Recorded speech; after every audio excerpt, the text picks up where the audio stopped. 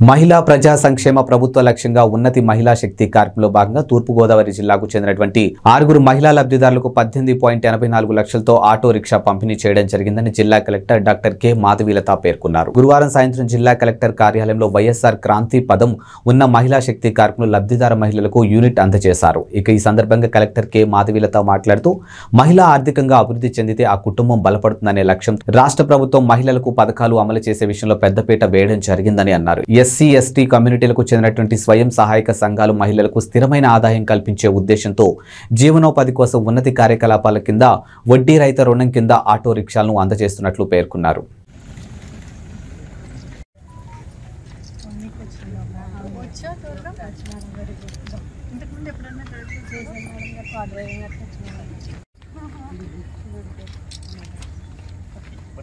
ఒకసారి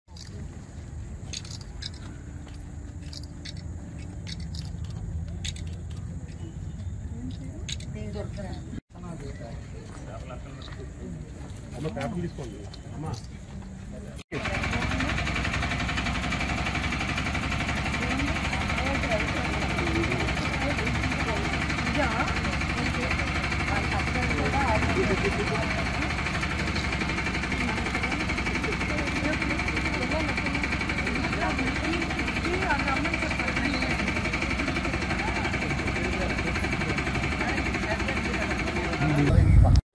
వచ్చిన ఎక్కడ బయలుదేరారు బయలుదేరలేదురా. చెప్పి రెండు సత్య ఇంకా వేరే బండి ఎవరు ఉన్నారు అక్కడ? బళ్ళు ఉన్న వాళ్ళు ఎవరు ఉన్నారు? గణేష్ ఉన్నాడా? ఎక్కడ ఎక్కడ ఉండేసి వచ్చింది బయలుదేరి. అర్జెంట్. నా పేరు ఏలేటి దేవిదుర్గ అండి. మాది కొంతమూరు గ్రామం. నేను డోక్రా గ్రూప్లో మా సంఘం పేరు ఎస్తేరాణి గ్రూప్ అండి. నేను ఆ గ్రూప్లో ప్రెసిడెంట్గా ఉన్నాను. అయితే గ్రామ సంఘం నుంచి ఎస్సీ ఎస్టీలకి ఆటో రన్ ఆటో ఆటోలు మంజూరు చేస్తున్నారని తెలిసిందండి. తెలిసినప్పుడు మరి నేను ఆటోకి దరఖాస్తు చేసుకోవడం జరిగింది. మరి మూడు లక్షల మూడు వేల నాలుగు వందల రూపాయలు మంజూరు చేసి నాకు ఆటో వచ్చి ఆటో వచ్చేలాగా చేశారు. కృషి చేశారండి.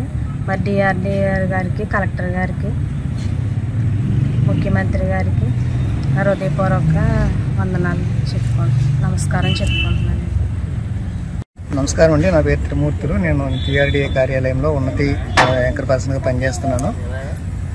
మనకి తూర్పుగోదావరి జిల్లాలో ఎస్సీ ఎస్టీ సప్లై నిధుల కింద మనకి ఈ మహిళలు ఎవరైతే ఆటో నడపడానికి సిద్ధంగా ఉన్నారో వాళ్ళని ప్రోత్సహించే ఉద్దేశంతో మన జిల్లాకి ఆరు ఆటోల్ని ప్రభుత్వం వారు మంజూరు చేశారు. ఈ ఉన్నతి పథకం ద్వారా ఇది మొత్తం యూనిట్ కాస్ట్ వచ్చండి మన అలా ఆటో రకాన్ని బట్టి మూడు లక్షల వరకు ఉంది. దాంట్లో పది శాతం వారు వారు కట్టుకుంటే మిగతా అమౌంట్ని ఉన్నతి నుంచి వడ్డీ లేకుండా రుణం ఇస్తారు ఈ రుణాన్ని వాళ్ళు సద్వినియోగం చేసుకుని ప్రతి నెల సక్రమంగా వాయిదా చెల్లించినట్టయితే వడ్డీ అయితే ప్రభుత్వం భరిస్తేలాగా ఏర్పాటు చేయడం జరిగింది.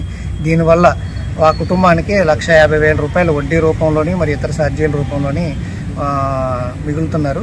ఇలాంటి పథకాన్ని మనకి ప్రోత్సహిస్తూ మన జిల్లా కలెక్టర్ వారు అలాగే ప్రాజెక్ట్ డైరెక్టర్ వారు మరిన్ని పథకాలతోటి మహిళల్ని ప్రోత్సహించే ఉద్దేశంతో ఆర్థికంగా స్వావలంబన ఏర్పాటి వారి జీవనోపాధిని మెరుగుపరచుకోవడానికి ఈ పథకాలు ఉపయోగించుకోవాలని మనస్ఫూర్తిగా కోరుతూ ఈ రోజున మన జిల్లాలో ఆరు ఆటోల కార్యక్రమాన్ని ప్రారంభోత్సవాన్ని ఈ రోజున జరుపుకుంటున్నామండి.